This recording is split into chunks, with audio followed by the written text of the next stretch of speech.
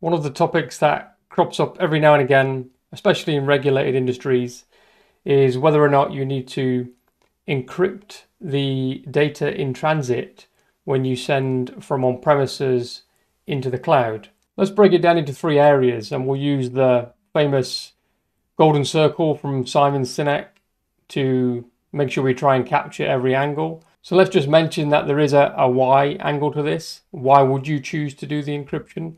And this could be for one of several reasons. It could be down to a trust conversation, you're trying to align to some sort of regulator or accreditation that you need to achieve that stipulates data in transit encryption.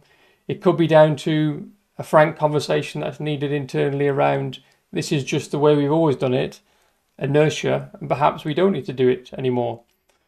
And quite often it's down to well, we've got old applications, legacy applications that don't support things like TLS. There's no encryption at the application level. So we want to mitigate that by having an encrypted network layer. I would say whilst in this video we're going to focus on IPsec over ExpressRoute, don't forget that there is also the option to do MACsec, which is a link level encryption between Microsoft Edge routers and your routers if you go for ExpressRoute Direct. So that's where you get a physical port dedicated to you as a customer on our router, but that's a separate conversation. And to come back to the point I made initially, the reason why you're going down the path of having an encrypted hybrid connection will dictate the solution that you need. And MACsec is offering a different profile of risk mitigation to IPsec, but again, beyond the scope of this video. I do also want to share that the broader context here is this is something that most customers don't do. So most customers who have ExpressRoute connected to their MPLS networks, connected to their data centers, they are not running additional encryption overlays on top of that. That implicitly means that most customers that are using the cloud today trust their incumbent vendors to get them to the Microsoft Edge and they trust Microsoft to handle the traffic, combined with a high level of probability that most of their applications are probably encrypted at the application level anyway, normally means that this level of complexity in the network, which I'll lay out, isn't something that most customers need to do. So I would say definitely step back and question do I need to do this? So let's talk about the options you have for the what, the tools you might use to do this. So first of all, the IPsec element. On premises, you'll need a device to terminate the IPsec. That's kind of not in scope of this video. I'll assume that you have a device on-prem, a router, a firewall that can do that. Then on the Azure side, you'll need a tunnel termination endpoint. And I'm going to zoom in on the VPN gateway in this video. Could also be virtual WAN, but also worth remembering that termination point in Azure could be a third-party appliance. Could be a third-party appliance doing IPsec, but it could also be a third-party appliance doing SD-WAN. An SD-WAN proprietary protocol will almost definitely have a level of encryption as well. So SD-WAN over ExpressRoute could give you the same assurance that you need. Let's think about the the ExpressRoute side, right? ExpressRoute comes in different flavors when it comes to peerings. You've got the Microsoft peering where you get public IPs from Microsoft. You could run the IPsec tunnel over the Microsoft peering. That's what customers have done for a long time. VPN Gateway exposes a public IP, terminate your tunnel on that. However, just bear in mind that you would have to take in all of the regional prefixes for that particular Azure region because there is no sub route filter or BGP community for just the VPN gateway public IPs. So that's a, a challenge around public IP routing that you'd have to manage. In my experience, when customers today look at this solution, they're generally wanting to use the private peering and use the fact that the VPN gateway and Azure vWAN support the ability to land IPsec tunnels on private IPs today, and that's what I'm going to concentrate on in this video. So we talked about the why, we talked about the tools, let's talk about the how. How would you use these tools, configure them to get this solution in play? Well, probably you've come across a diagram that looks like this, which is embedded within this document here on how to configure a site-to-site VPN connection over ExpressRoute private peering I'll leave the link to this document and the equivalent for virtual WAN in the links below. And in this document, we talk about some of the routing behaviors. So that's really where I want to concentrate in this video. Okay, so to do that, let's have a more detailed diagram. We've got on-prem here on the left, and we've got a couple of subnets on-prem with these IP ranges represented by these green lines. They are connected to a local area network, which ultimately takes you to firewall or router, which is the thing that is going to connect you to the outside world. And that's going to have an outside interface with a private IP, which is going to be where we terminate the IPsec tunnels. First of all, let's think about the underlay, which in our case is ExpressRoute private peering. So that site, the on-premise site, is somehow connected to ExpressRoute. So probably it's via a wide area network, maybe an MPLS connection, gets you to the routers that are terminating the ExpressRoute connections from Microsoft over the Microsoft private peering into the Microsoft Edge routers. So there's a level of BGP that's happening here, which is the private peering BGP relationship between your network and Microsoft. And then, of course, that ExpressRoute circuit is connected back inside of the Microsoft network from the Microsoft POP at the edge there into the region where you have your ExpressRoute virtual network gateway. Okay, so let's just think about how this underlay will behave. Does traditional ExpressRoute. So from Azure, we have these two spokes here, spoke one and spoke two, and they've got user remote gateway ticked and they're connected to the hub. So we know by default that that ExpressRoute will advertise out both the hub range and the spoke ranges to on-prem.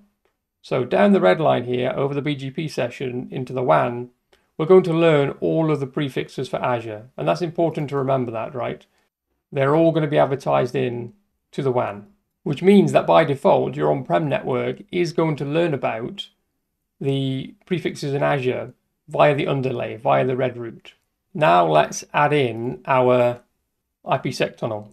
So we're going to take our VPN gateway, which has got a private IP that lives in our hub VNet, and we're going to build an IPsec connection from on-prem into Azure. So establishing the tunnel is fairly straightforward. Configure that, deal with the resilience conversation, stand up BGP, etc., etc. At that point, your on-prem network will be getting the routes from Azure in two different places. The routes are still coming in via the underlay, via the red path, but in the same way that the ExpressRoute gateway is advertising out those routes, so is the VPN gateway. So those routes from Azure will be popping out on the inside of the tunnel here as well. So effectively, this on-premises firewall here will know about the Azure Rangers via two paths. It will know about them via the green line and via the red line. So we're starting to see that the complexity here really is not in building the ExpressRoute private peering or building the IPsec tunnel. The complexity is handling the routing from left to right and right to left, effectively making sure that traffic gets put into the green overlay and not allowed to flow on the red underlay. So let's think about the traffic in both directions and compare uh, and add detail to our diagram and contrast it with the documentation to round out this picture. So let's think about traffic from on-prem networks to Azure. So that, imagine you've got a virtual machine sat on this subnet here with the IP address 192.168.1.10 and it's trying to talk to something in Azure. It's trying to talk to one of these spoke VNets over here it will have a, a route that says, you know, basically send anything to my default gateway that ultimately takes it to this local area network and then onwards to a device that has to make a routing decision of do I go on the red path or the green path. Effectively, what we're saying here is you will get from Microsoft by default the routes in the red and the routes in the, the green. So you, you've got various options on how you handle this. What you may choose to do is on your cloud edge routers, so when the routes leak into your network here, you may decide to only allow through the routes via ExpressRoute for effectively your hub VNets. So you would only leak through this 10.10 slash 16 range, but you wouldn't allow the 10.11 and 10.12 ranges through. What that would mean is when, when that traffic leaks through here and hits the firewall, the firewall would know enough information to build the tunnel, but it wouldn't have reachability to the spoke virtual networks. And therefore, when it comes to making a routing decision, it can only go via the green path because that's the only way it knows how to get to those spokes. I would say you have to kind of be careful with this because you may have other subnets in the, the hub which you also want to push via the, the green overlay. Let's think about a different approach. Let's say you do allow in the routes on ExpressRoute, you allow everything to get to this router, and then effectively you have to tell it to make a routing decision. If you're running BGP from this device to your wide area network and you're running BGP across the VPN tunnel, on this device you can apply logic which says, hey, when I get a route via the green path and via the red path, make sure that I prefer the green path, and you can do that various ways, that local preference, weight, AS path, etc., etc. The important thing is that if you do that, you need to make sure that when this device here builds the IP tunnel to this private IP in Azure, the route to that single IP address has to go across ExpressRoute. So generally you would find a static route which says something like to get to this specific IP, route that across the wide area network. Otherwise, you'll get yourself into a, a routing loop where the tunnel endpoint is reachable across the tunnel itself, uh, and that will just break the, the networking logic. So you've handled how your network sends traffic to Azure. What you need to do now is think about how Azure sends traffic to your network. So imagine you've got a spoke VNet here replying to that VM on premises. When it looks in its routing table, how does it see the world? How does it see the reachability to that address? And this is where we get into some of these recommendations here. So you see we make two suggestions. One is you advertise more specific prefixes on the VPN. So that would be across ExpressRoute here on your edge routers, you summarize your on-prem network. But when you advertise your internal ranges across the green line, you advertise more specific prefixes. And then when the VMs look in their routing table and go, well, how do I get to on-prem? They see the next hop as the VPN gateway because that's the more specific route. The other recommendation that we make is to advertise disjoint prefixes. What are we effectively saying there? Well, I guess we're saying a couple of things. One is one option that you have is when you advertise out your ranges from on-prem and you advertise them this way, maybe on the ExpressRoute side, if you want to encrypt everything, the only IP address that you advertise on the underlay could be the outside interface of your on-prem firewall. And that means that Azure doesn't know about your internal prefixes via the underlay and can only build the tunnel. That would also cure the problem, which would mean that when the VMs in the VNet are making that routing decision, the only reachability they have is via the VPN gateway, which is learning those routes over BGP over IPsec. And this also addresses uh, another question, which is can I route some prefixes over the red underlay and some over the green underlay? Perhaps I have some subnets which are more sensitive than other subnets. Uh, and the answer is yes. I mean, you can you can mix and match however you see fit based on how you advertise the routes. So, for example, if you advertised the 192.168.1.0 range in the underlay, so these cloud edge routers they could have a prefix filter that says allow 1.0 into the underlay, but do not allow 2.0 into the underlay. When the VNets here look in their routing table and say, how do I get to those ranges? They will prefer ExpressRoute if the prefix length is equal for the routes that you do leak in.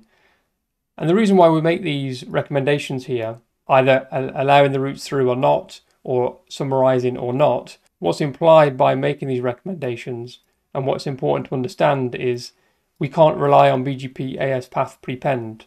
So if you advertise in the same prefixes here on the underlay as you do on the overlay, and you try and use BGP AS path prepend, for example, if you were to prepend the routes on ExpressRoute with say plus 3 AS path, when those routes get injected into the virtual network, when the VM responds, ExpressRoute will still win. So effectively, there's logic in the Azure platform, which is if I see a route via ExpressRoute and via VPN, regardless of the BGP AS path, ExpressRoute is going to win, and the VM will use the ExpressRoute path unless you follow one of these recommendations here. And that's captured in this warning box on the documentation. Okay, so a slightly different video, less detailed configuration, more explanation of an existing article, but I hope you found that useful anyway.